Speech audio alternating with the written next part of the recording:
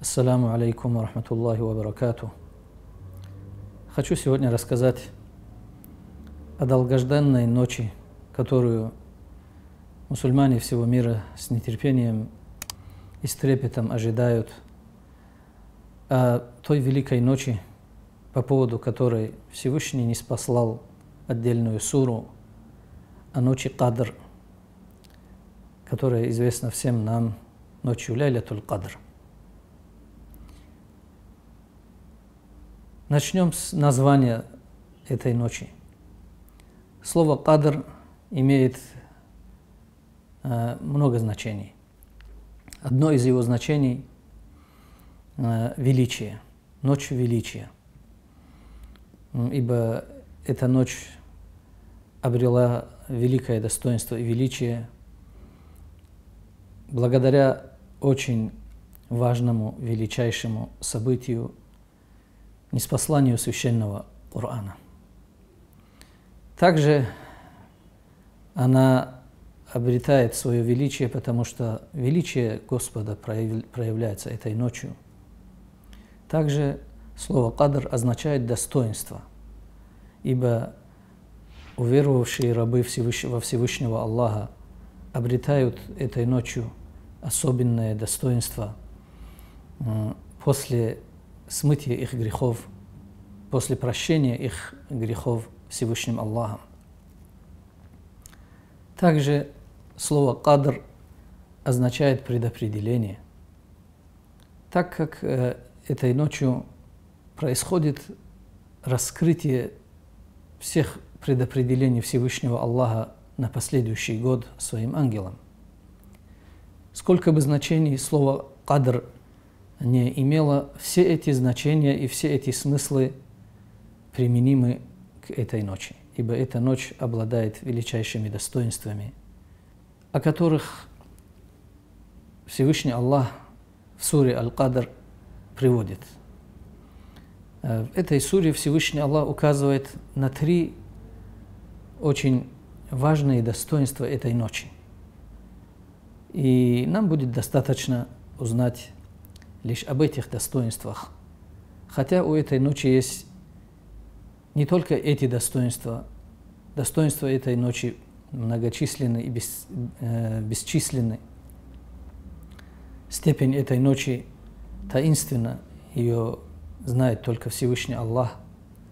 Эта ночь – дар Всевышнего Аллаха своим рабам, в которой Всевышний Аллах – зная нашу слабость и беспечность, нашу нужду в нем, дарует своим рабам дни, ночи, месяца, в которых Всевышний Аллах говорит своим рабам, так вот, вот вам, моя щедрость, вот э, мое милосердие, воспользуйтесь этими днями, этими ночами.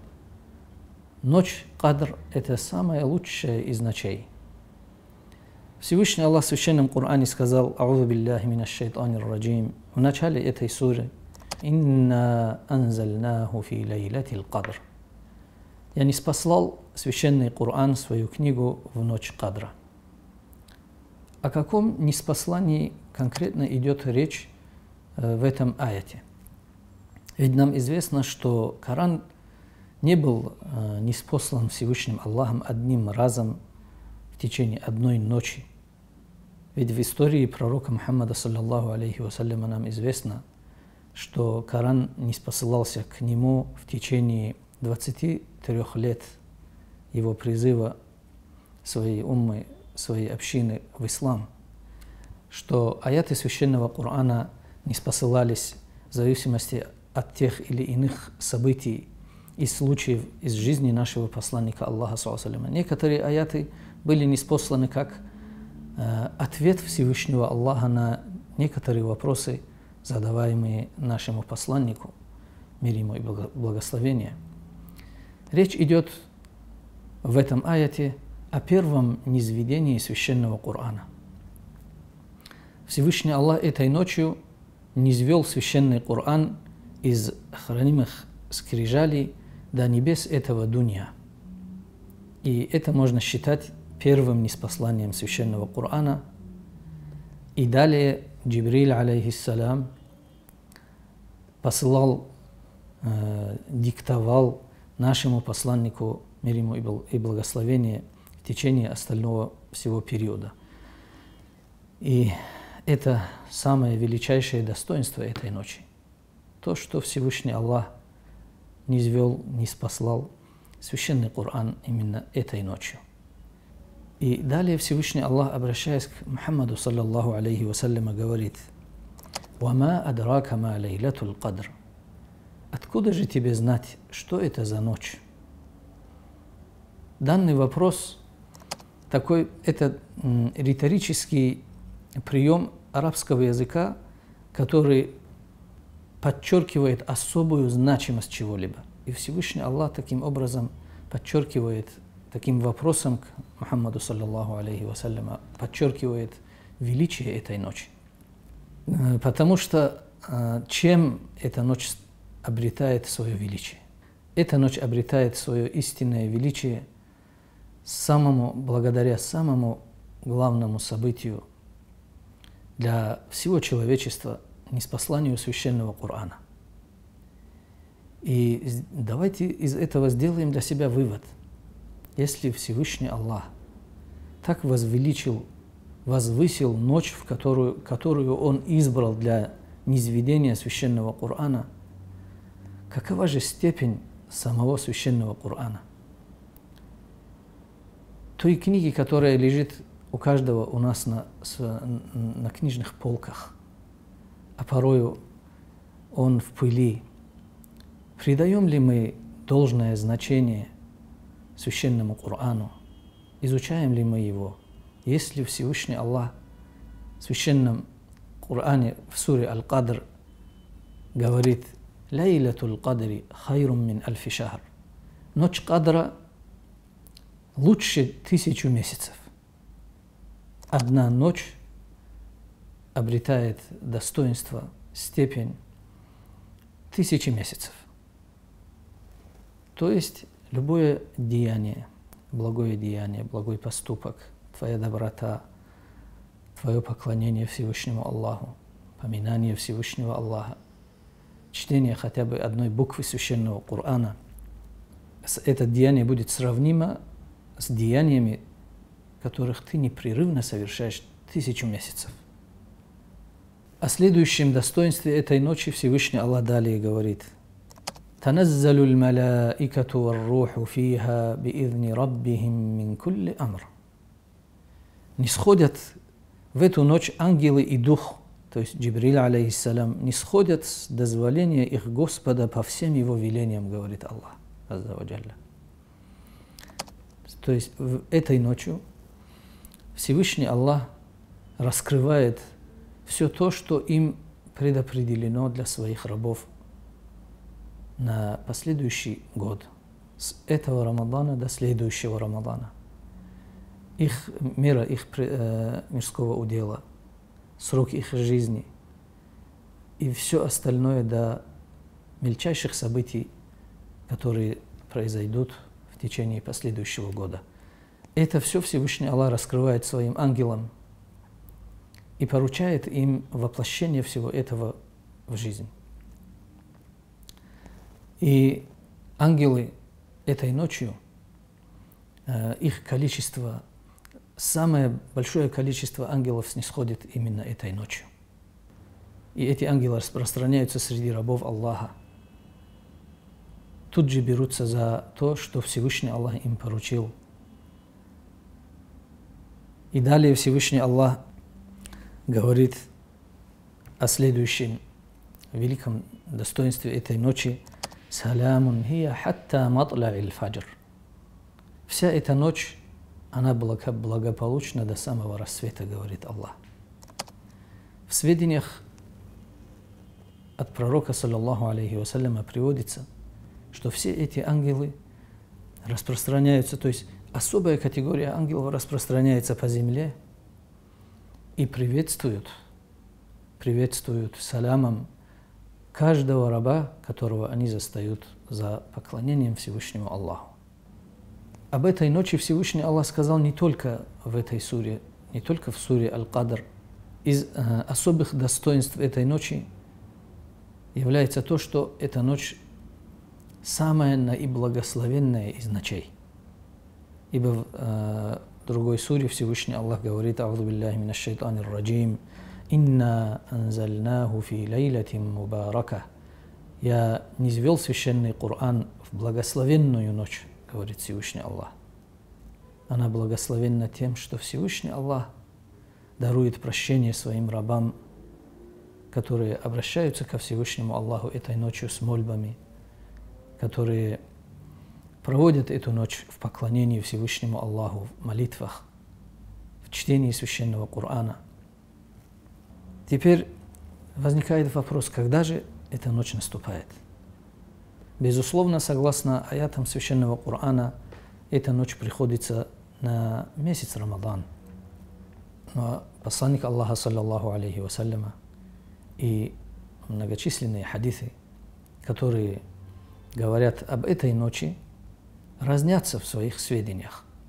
Есть хадисы, которые говорят, что это 21 ночь. Есть хадисы, которые говорят, что это 27 ночь Рамадана. Э, есть хадис, в котором посланник Аллаха, саллаллаху алейхи вассаляма, говорит «Тахаррау лейлат аль-кадри фил ашри ал-авахири мин Рамадана». Ищите, стремитесь найти ночь кадра в последней декаде месяца Рамадан чем же заключается смысл того, что нет конкретного хадиса, который говорит об одной отдельно взятой ночи?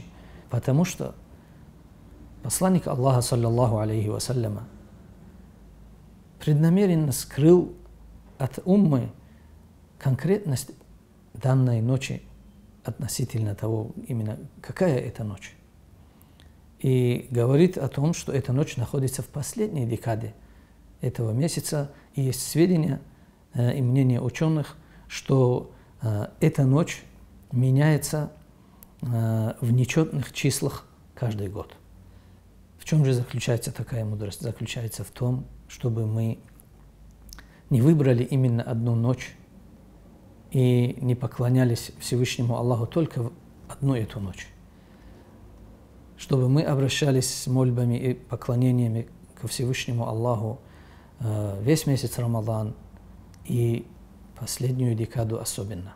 Ибо посланник Аллаха, саллаллаху алейхи вассаляма, согласно тому, что приводит Аиша, ради Аллаху анха, говорит, что посланник Аллаха, саллаллаху алейхи вассаляма, потуже завязывал свой пояс и пробуждал по ночам в последнюю декаду месяца Рамадана, пробуждал э, э, свою семью для того, чтобы совершать молитвы в эти ночи.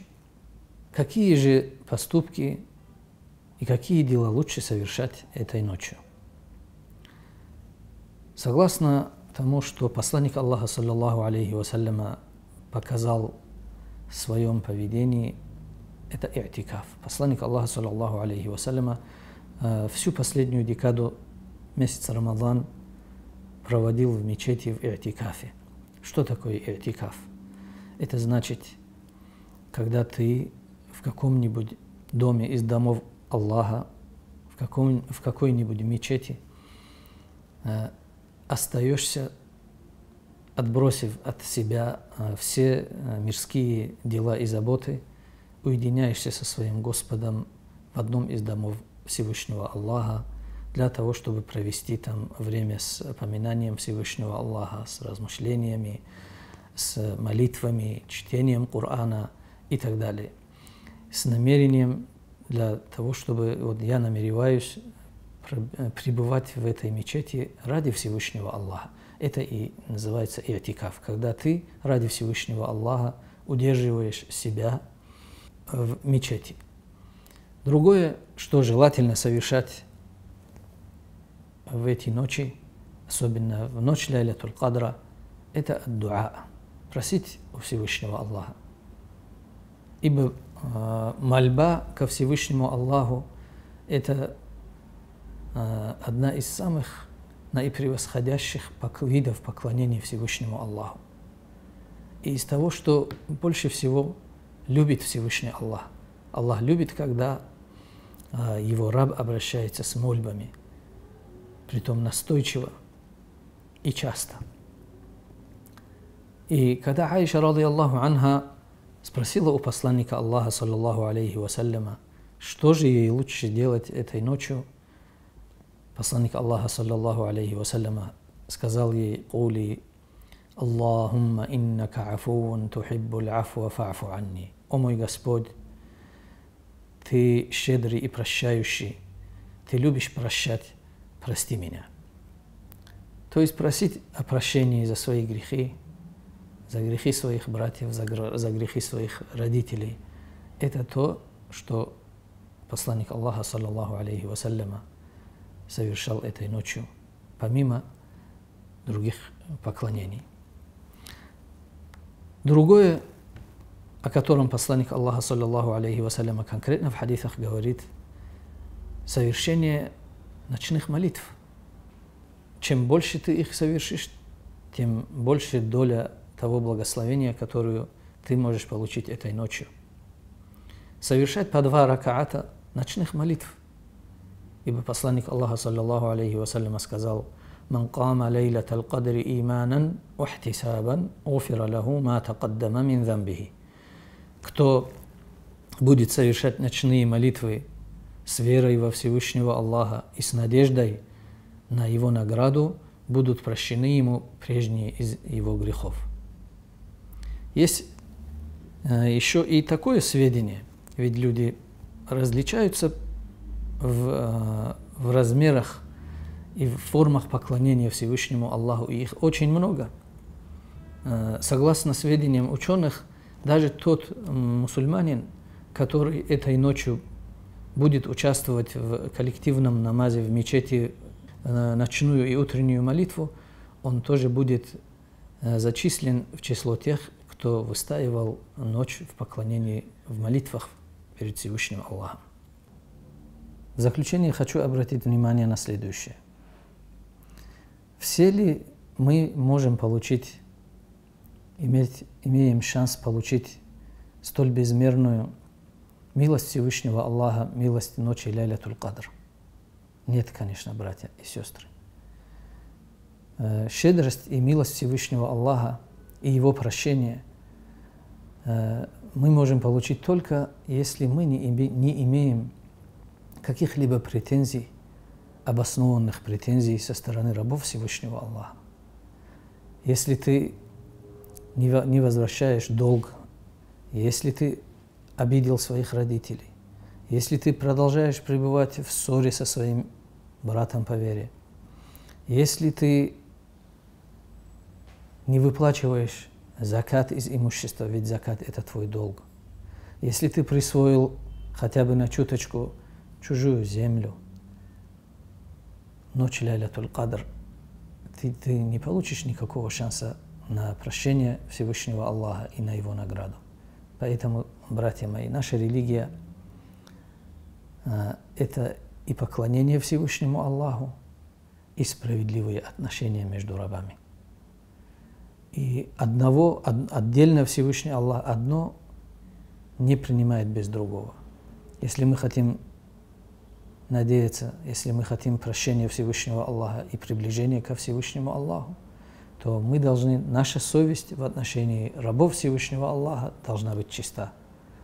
Да простит нам Всевышний Аллах наши грехи и сделает нас из числа тех, кому Всевышний Аллах дарует свою милость ночи Ляйлятуль Кадр. Ассаламу алейкум ва рахматуллахи ва баракатуh.